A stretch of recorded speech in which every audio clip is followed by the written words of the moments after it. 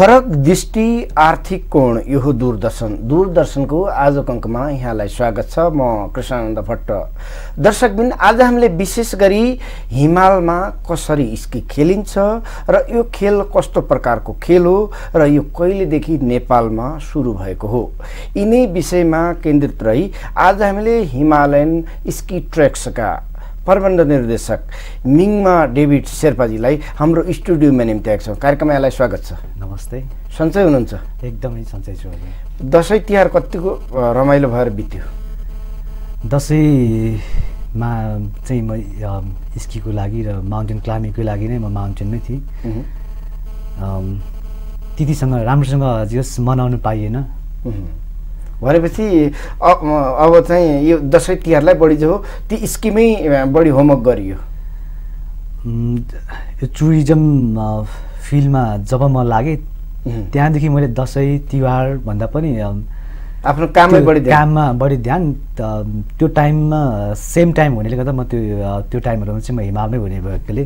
खासै दसैँ तिहार नमनाएको जुन यो फिल्डमा आइसकेँ मैले खासै त्यस्तो धेरै अ, चाडबाड मनाउने गरेको छैन। ग- त्यो समयसँग म्याच नभएर विशेष गरेर कामलाई ध्यान दिनुपर्ने भएकोले। भनेपछि कहिले हो मिङमाजी तपाईँले यस्तो यो स्की ड्राइभको यो कन्सेप्ट नेपालमा भित्राएको हामीले चाहिँ जब मैले माउन्टेनियरिङ सेक्टरमा काम गर्न थालेको चाहिँ टु थाउजन्ड टेनदेखि मैले स्टार्ट गरेँ। मैले त्यो बेला पनि मैले स्कीहरू चाहिँ स्की खेलिरहेको देखिन्थेँ। त्यो चाहिँ विदेशी गोराहरूले। मात्र गर्थ्यो भने हामीले हाम्रो ठाउँमा विदेशीले आएर गर्दा हुन्छ भने हामीले चाहिँ किन नगर्ने भन्ने खालको कन्सेप्ट ममा आफैमा थियो। बिस्तारै काम गर्ने क्रममै बिस्तारै बिस्तारै मैले टु थाउजन्ड टुवेल्भमा आएर चाहिँ नेपाली दाई जो चाहिँ लन्डनमा स्की क्वालिफाइड गाइड भएर बस्नुभएको रहेछ। उहाँसँग काम गर्ने क्रममै हिमालसँगै रिलेटेड भएर आउँदाखेरि उहाँसँग भेटेँ। त्यहाँदेखि टु थाउजन्ड टुवेल्भदेखि चाहिँ हामीले वर्षेनी डिसेम्बरको अठारबाट चाहिँ इभेन्ट गरेर दस दिनको प्याकेज चाहिँ हामीले चाहिँ नेपालमा चाहिँ फ्री स्कीको ट्रेनिङ हामीले नेपालीहरूलाई दिने गरेर यसरी यसरी नै हामीले यसलाई चाहिँ स्कीलाई चाहिँ डेभलप गरिरहेको छौँ अहिले चाहिँ। भनेपछि पाँच वर्षमा भयो यो लाइन नेपालमा सुरु गरेको। हजुर। तपाईँ कति वर्षको उमेरमा हिमाल चढ्न सुरु गर्नुभयो? म ठ्याक्कै म हिमाल चढ्नु सुरु गर्दाखेरि उन्नाइस वर्षको थियो त्यो बेला चाहिँ। है? हजुर। भनेपछि सिधै उन्नाइस वर्षकै उमेरमा तपाईँ चाहिँ आरोहीहरूसँग एभरेस्ट चढ्न सुरु गर्नुभयो। त्यतिखेर चाहिँ कस्तो भने म अठार वर्षको उमेरमा एकचोटि नर्मल ट्रेकिङ गएको थिएँ।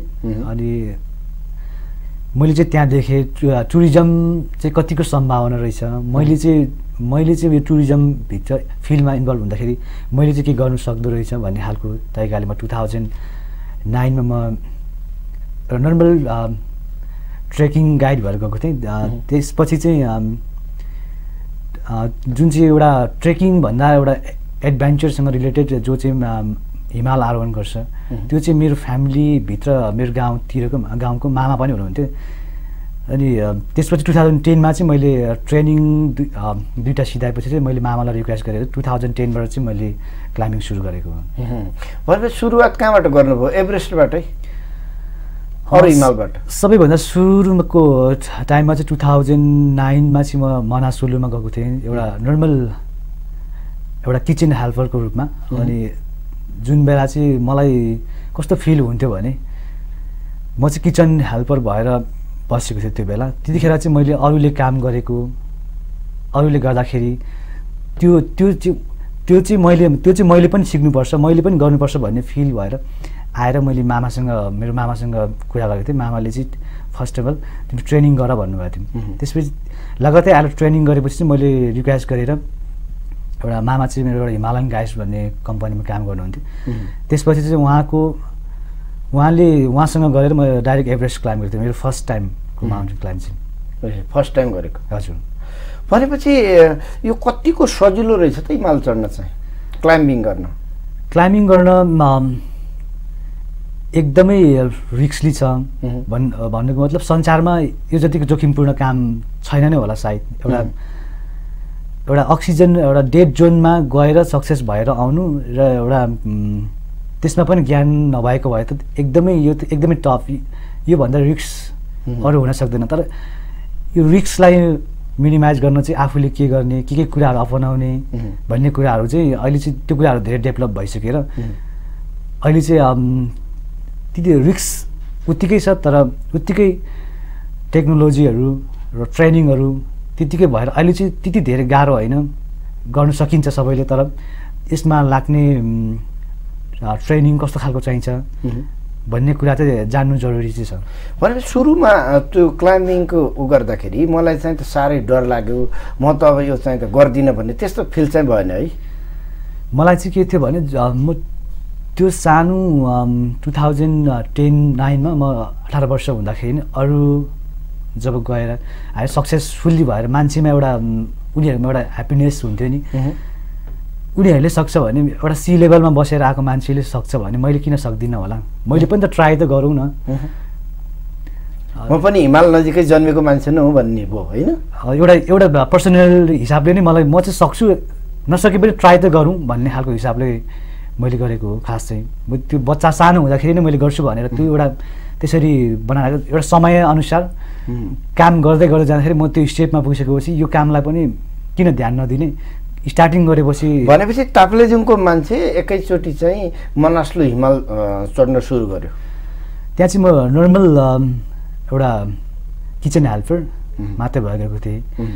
त्यसपछि मेरो हिमाल आरोहण चाहिँ डाइरेक्ट एभरेस्टबाटै भएको स्टार्टिङ चाहिँ ए अच्छा अच्छा भनेपछि सुरु समयमै एभरेस्टमै पुग्यो हजुर त्यो चाहिँ कस्तो थियो भने त्यो टाइम चाहिँ जब मेरो सर्कलमा जो गाइडिङ गरेर गएको थियो मान्छेहरू मेरो टिममा बाह्रजना नेपाली थियो। अरू सबै एभरेस्ट समिट गरिसकेको मान्छे तर एभरेस्ट नचढेको चाहिँ म एक्लै थिएँ त्यो टाइममा। म आफैलाई एउटा पर्सनल हिसाबले हेर्दा म आफैलाई आफैलाई च्यालेन्ज थियो किनकि उनीहरू सबै अनुभवी थियो। म मात्रै त्यहाँ एउटा क्लाइम्बिङ कसरी गर्ने भन्ने कुरा ज्ञान मैले नर्मल ट्रेनिङ लिएको थिएँ तर प्रत्यक्ष एउटा अल्टिच्युडमा कस्तो खालको फिल हुन्छ? के के हुनसक्छ। भन्ने कुरा त त्यो त मैले फिल भनेपछि बाह्रजनाको बिचमा आफू पनि बसियो। हजुर। होइन? बिचमा बस्दाखेरि त के के गर्दो रहेछन् ती अनुसार म पनि चढ्छु भन्ने भयो। हजुर। भन्दा पनि त्योभन्दा अगाडि पनि हिमालमा कस्तो खालको टेक्निकहरू युज हुन्छ? कस्तो खालको इक्विपमेन्टहरू युज हुन हुन्छ भन्ने खालको ज्ञान त मैले अगाडि नै लिइसकेको थिएँ। नेपाल माउन्टेनिङ एसोसिएसनको कोर्सहरू गरिसकेको थिएँ मैले। तर प्रत्यक्ष रूपमा भन्नु त म म आफैले त्यो अल्टिच्युडमा गएर मेरो बडीले चाहिँ साथ दिने कि नदिने भन्ने खालको कुरा चाहिँ मलाई त्यो त्यो ग्यारेन्टी चाहिँ थिएन तर लकिली म माउन्टेनमा फिट रहेछु भन्ने कुरा थाहा भयो त्यो बेला। भनेपछि एक त्यो पहिलो पटकको आरोहण सफल भइसकेपछि आफूमा केही ऊर्जा बढ्यो त्यहाँदेखि चाहिँ झन् ट्रेनिङतिर फोकसिङ गरेँ। कन्टिन्यू हिमालतिर। जुन बेला म त्यो बेला फिट भएँ त्यहाँदेखि म कुनै कुनै पनि टाइममा यो एक दुई वर्ष अगाडि त्यस्तो खालको एक्सिडेन्टहरू भयो ठुल्ठुलो हिमालमा। भूकम्पले टुरिज्मलाई नै तहस नहस बनाएको थियो। तैपनि त्यो स्थितिमा पनि भूकम्प भूकम्पले गर्दाखेरि म चाहिँ रोकिनु हुन्छ म चाहिँ मरिन्छ कि क्या भन्ने त्यो खालको फिल नगरिकन कन्टिन्यू कन्टिन्यू निरन्तर त म माउन्टेनमै बिजी भइरहेँ। कहिले पनि स्टार्टिङ पोइन्टदेखि आजसम्म ब्याक हुने कहिले पनि भनेपछि कति पटक अ, एभरेस्टको क्लाइम्बिङ गरियो? अहिलेसम्म म एभरेस्टको लागि गएको चाहिँ जम्मा छ पटक भयो छ। पटकमा चारचोटि मेरो समिट हो टिबेटबाट तिनचोटि नेपालबाट एकचोटि हुँ। दुई पटकमा चाहिँ एकपटक चाहिँ भूकम्पले गर्दाखेरि बेस क्याम्पबाटै फर्किनुपर्ने स्थिति भयो। अनि यो साल चाहिँ एउटा rescue as a rescue team चलाउने भएकोले म म, आठ हजार छ सय मिटरमा एउटा चाहिँ इन्डियन महिला चाहिँ समिट गरेर बेहोस अवस्थामा ढलेको भएको कारणले छ हजार आठ सय मिटरबाट चाहिँ उसको रेस्क्युलाई फोकसिङ गरेर अब मैले चढ्नु थियो चढिसकेँ अब चाहिँ उसको लाइफलाई एउटा मै मैले रेकर्ड। सेभ गरौँ भन्ने खालको एउटा मिसनले गर्दा म उसलाई चाहिँ लिएर। फर्केर लिएर बेस क्याम्प लिएर आयो। त्यही हो मेरो छ पटक ए यी त भए एभरेस्ट चढ्दाखेरिका अनुभव भए हजुर। अरू अरू कुन कुन हिमाल चढियो खास अब पाकिस्तानमा संसारकै आठ आठ हजार मिटरमा सबैभन्दा अलिक खतरा मानिने केटु म तिनचोटि गएँ त्यहाँ। तिनचोटिमा एकचोटि समिट भयो। र दुईचोटि चाहिँ क्याम्प थ्री त्यस त्यही हो केटु त्यहाँदेखि मनासुलु। मकालु। आठ हजारभन्दा माथिको डिफ्रेन्ट छवटा चाहिँ सक्सेसफुली समिट भएको छ आजसम्म। भनेपछि त राम्रै भएछ है। अहिले त त्यसो भए अब कुनै किसिमको डाउटफुल छैन आरोहण गर्नको निम्ति। अब म सक्दिनँ होला भन्ने खालकोमा मलाई कुनै पनि डाउट छैन अब मैले अहिलेको यो पिरियडमा चाहिँ म अब हिमाल चढ्छु अनि म रेकर्ड कायम गर्छु म नयाँ म आफूलाई हिमाल आरोहणमा फेरि छ चार पटक भयो फेरि पाँच पटक बनाउँछु भन्दा पनि अहिले चाहिँ मैले म हिमालमा म मेरो म चाहिँ हिमालमा फिट रहेछु भन्ने कुरा थाहा भएपछि हिमालमा जति पनि एक्सिडेन्टहरू हुन्छन्। यिनीहरूलाई चाहिँ बचाउनुपर्छ हामी जस्तो डर जो मान्छे म डरो छु भने म माउन्टेनमा फिट छु भने जो सक्दैन उसलाई बचाउनुपर्छ भन्ने हिसाबले अहिले चाहिँ म आर वानतिर भन्दा पनि रेस्क्युलाई चाहिँ कसरी इस्टाब्लिस गर्ने नेपालमा जो हिमाल चढ्नु भनेर आएको छ तर ऊ हिमालमा मर्नु भनेर आएको हुँदैन। यस्तो मान्छेहरूलाई चाहिँ त्यस्तो खालको सिचुएसन आयो भने चाहिँ कसरी उद्धार गर्ने। उद्धार गर्ने भन्ने यो पक्षमा छु अहिले चाहिँ। भनेपछि कति समय ट्रेनिङ गर्यो यो लाइनको? मैले एनएमए एनएमजिए गरेर डिफ्रेन्ट मैले सातवटा कोर्सहरू गरेको छु। जे यो टु थाउजन्ड कोर्स गर्नलाई पनि त पैसा धेरै लाग्दो रहेछ नि त होइन? यो कोर्स गर्नुलाई एउटा इन्टरनेसनल लेभलसम्म जानु अलिक धेरै नै महँगो छ। मैले चाहिँ एउटा एनएमए नेपाल माउन्टेन एसोसिएसनको नर्मल बेसिक एडभान्स लेभलसम्मको कोर्सहरू सिधाएको छु मैले चाहिँ। दर्शक पनि एकैछिन छोटो विश्राम विश्रामपछि कार्यक्रमको सिलसिला जारी रहनेछ। तपाईँ टिभी टुडे हेर्दै हुनुहुन्छ।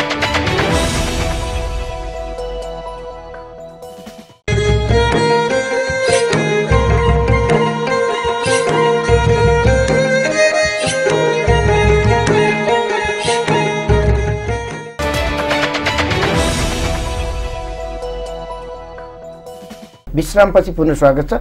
भनेपछि अब चाहिँ नयाँ वातावरण क्रिएट गर्ने जो कि नेपालीले पनि स्काई ड्राइभिङ गर्न सकुन् अहिलेसम्म मैले देखेको चाहिँ नेपालमा जति पनि टुरिज्म फिल्डले धेरै परिवर्तन ल्याइसकेको छ नेपालमा तैपनि एउटा नयाँ खालको टुरिज्म कसरी ल्याउने भन्दा एउटा अहिले देखेको चाहिँ अहिलेको सिचुएसनमा चाहिँ जब हिउँ पर्यो जति नेपालको माथिल्लो भेग ताप्लेजुङको माथिल्लो भेग सोलुखुम्बुको माथिल्लो भेगमा चलिरहेको होटलहरू जब हिउँ पर्यो बन्द गर्नुपर्ने स्थिति छ। यो चाहिँ यो चाहिँ स्की डेभलप नभएर रहेछ एउटा हिउँै नभएको सानो सानो देशमा स्की इन्डोर स्कीले हुन्छ कि कसरी डेभलप स्की रिसोर्टहरू बनिसक्यो तर नेपालमा त्यो नभएको कारणले चाहिँ जब हिउँ पर्यो त्यहाँको मान्छेहरू चाहिँ होटल बन्द गरेर बजारमा आएर बस्नुपर्ने स्थिति भएको छ। तर त्यो चाहिँ किन रहेछ भन्दा स्की डेभलप नभएको रहेछ। यसलाई चाहिँ हामीले चाहिँ अब हामीले चाहिँ स्की गराउन चाहिँ त्यहाँको होटललाई व्यवसायलाई पनि हुने भयो। सबै यातायात गाइडिङ सबै यो चाहिँ एउटा नयाँ खालको टुरिज्म डेभलप हुने रहेछ। त्यसैले म चाहिँ अहिले चाहिँ यसलाई चाहिँ कसरी चाहिँ डेभलप गर्ने भन्नेमा चाहिँ हामी कन्टिन्यू छौँ अहिले चाहिँ। भनेपछि नेपालमै स्की ड्राइभिङको स्कोप राम्रो छ?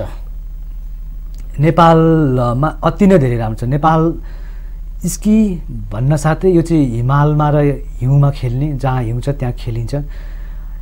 त्यसो भएको हुनाले हाम्रो देशमा त आठ हजारभन्दा माथिको हिमालय आठवटा छ।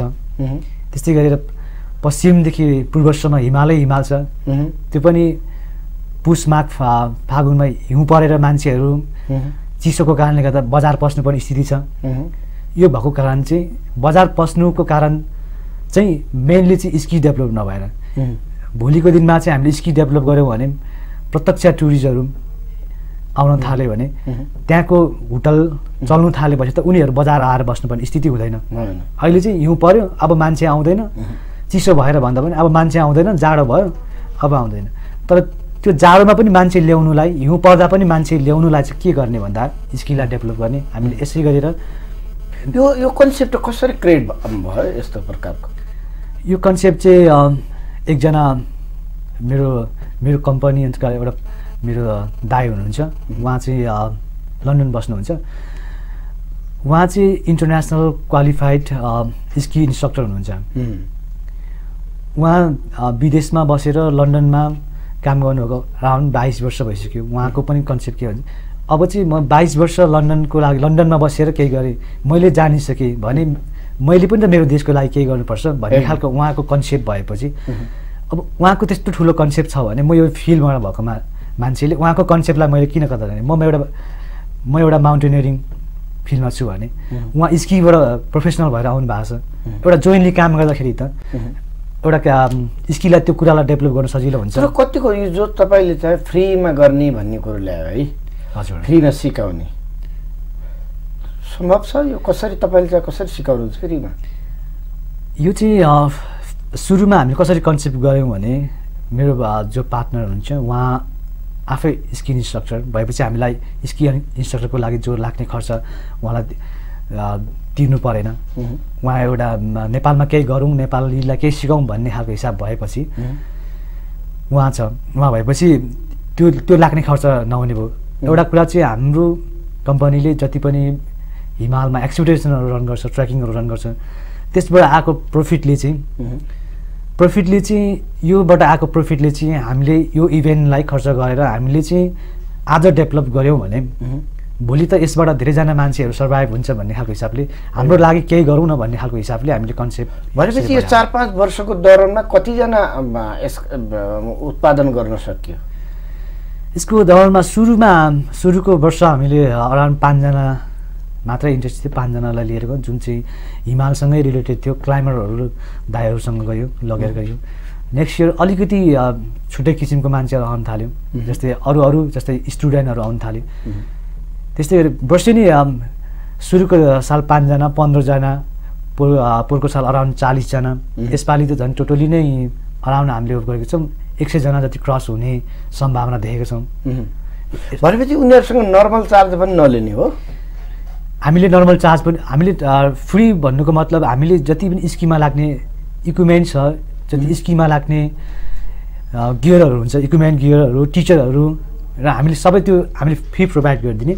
अनि जस्तै त्यसपछि चाहिँ जति आउने जाने खर्च. पर्सनल एक्सपेन्सेसहरू चाहिँ आफैले कभर गर्नुपर्ने हुन्छ। हामीले यसरी रन गरेका छौँ। नर्मल्ली कति खर्च हुँदो रहेछ स्की ड्राइभर सिङलाई यसमा चाहिँ यो चाहिँ एकदमै हामीले चाहिँ जो इन्ट्रेस्ट भएर आएको मान्छे छ उसलाई पनि त्यस्तो खालको एउटा भर्खर नयाँ बिजनेस हुँदैछ। एउटा एउटा मोटिभेट टाइपको नेपालीहरूले पनि स्की गर्नुपर्छ। ने त्यो टाइपको भएको कारणले गर्दा हामीले चाहिँ जुन एरियामा हामीले थ्रुबाट ला- इभेन्टको लागि मान्छे ला सिकाउनको लागि लाँदैछौँ त्योभन्दा अगाडि नै हामी गएर त्यो लोकल ठाउँको एरियाको होटल जुन बेला हिउँ पर्छ त्यो बेला पहिला उनीहरूले बन्द गरेर बस्नुपर्ने स्थिति थियो। अहिले चाहिँ नेपालीहरू सिक्न आउँदैछ। तपाईँहरूको पनि बन्द गर्ने होटल टाइम खास तपाईँहरूले बन्द गर्नुहुन्थ्यो एकदम तपाईँहरूले पनि हामीलाई केही सहुलियत दिनुहुन्छ दिनुपर्छ. किनकि हामीले प्रमोट गर्नु छ जो नेपालीहरू आउँछन् जस मेनुमा भएको चार्ज नलगाइदिनुहोस्. हामीले पनि केही दिनुपर्छ तपाईँहरूलाई पनि किनभने यसले चाहिँ भोलि देशलाई। लगेर चाहिँ उनीहरूलाई सिकाइन्छ?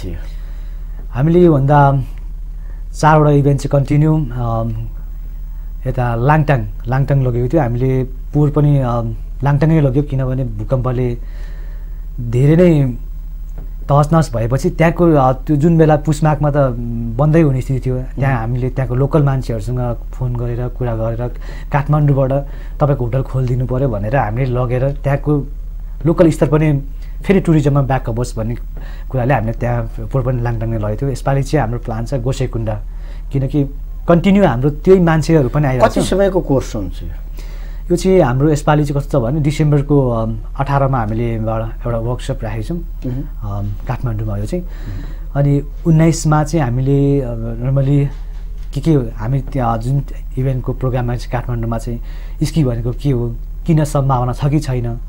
हामीसँग कस्तो खालको मेन पावरहरू छ. एउटा इन्ट्रोडक्सन कार्यक्रम को को जाने इन्ट्रेस्टेड एउटा. फर्म फिलअप गराउने टाइपको प्रोग्राम छ त्यसपछि चाहिँ बिस तारिक चाहिँ यहाँदेखि हामी रसुवा भएर गोसेकुण्डा जाने प्लान छ। बिस अनि त्यही हाम्रो दस दिन चाहिँ काठमाडौँ बाहिर हामी तिस तारिक चाहिँ हामी काठमाडौँ फर्किने प्लान छ। ए भनेपछि धेरै लामो समयको यो चाहिँ होइन सर्टकट ट्रेडिङ हो। यो चाहिँ अहिले चाहिँ हामीले चाहिँ यो चाहिँ फ्री वर्कसप सबैभन्दा पहिला त मान्छेलाई स्की भनेको के हो. सम्भावना के छ. भन्ने कुरा नै अहिलेसम्म नेपालमा परिवर्तन गर्न सकेको छैन। हामीले चाहिँ नर्मली स्की भनेको के रहेछ? सम्भावना छ कि छैन रहेछ. भन्ने खालको एउटा मान्छेको त्यो दिमागमा परिवर्तन ल्याउनलाई हामीले यो इभेन्टमा कन्टिन्यू लागेको छ तर त्यो दस दिनको पिरियडमै स्की पुरा पर्फेक्ट हुने चाहिँ होइन तर एउटा जर्नल नलेज हुन्छ। जनरल नलेज हुन्छ. त्यसलाई चाहिँ अब वृहत रूपमा पार्नलाई यो चाहिँ खास कम्प्लिट स्क्रू ड्राइभर बन्नलाई कति समयको ट्रेनिङ हुन्छ? यो चाहिँ यसमा चाहिँ कस्तो छ भने अहिले त्यो चाहिँ अब एउटा के भन्छ क्याटेगोरी जस्तै लेभल वान लेभल टू भनेर एउटा लेभल त्यसरी लेभल लेभलको क्याटेगोरी हुँदैछ यो चाहिँ इभन नेपालमा त त्यो खालको क्वालिफाइड सिकाउने खालको मान्छे पनि छैन। यो चाहिँ अहिले युरोपतिर लगेर सिकाउने गरेको छ। अहिले चाहिँ हामीले चाहिँ सरकारी माउन्टेन एकाडेमी उहुँ। सँग हामीले कोअर्डिनेट गरेर माउन्टेन एकाडेमी एउटा सरकारी पक्ष पक्षको मान्छे एउटा अफिसियल भएको हिसाबले एउटा हाम्रो अ, ट्रेकिङ एजेन्सी र हामी र माउन्टेन एकाडेमी मिलेर यसलाई चाहिँ कसरी डेभलप गर्ने।